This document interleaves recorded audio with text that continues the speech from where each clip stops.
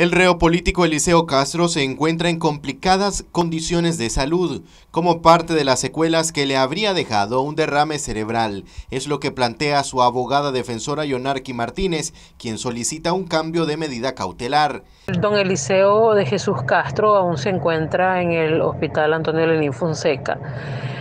Eh, está actualmente eh, atendido por personal que da este, terapia.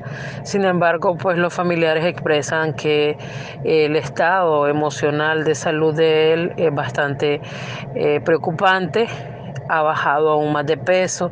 Se me expresaba que está eh, su hija, de que está pesando menos de 100 libras, que anda por las 80 libras eh, aproximadamente. Eh, de manera humanitaria, nosotros hemos abogado ante las autoridades para que hagan un, cambio de medida cautelar oportuno, pues para que él pueda ser atendido y, y pueda pues recibir terapias también en su domicilio. se encuentra actualmente con custodio del sistema penitenciario nacional. Eh, esperamos pues de que en este diciembre puedan darle la oportunidad a este privado de libertad a estar con su familia más en las condiciones en, en las cuales él, él ahora se encuentra. Recordemos que fue víctima de un derrame cerebral.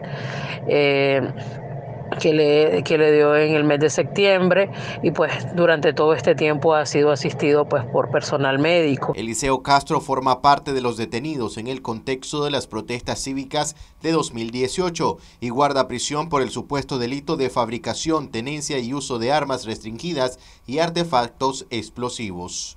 Marcos Medina, Noticias 12.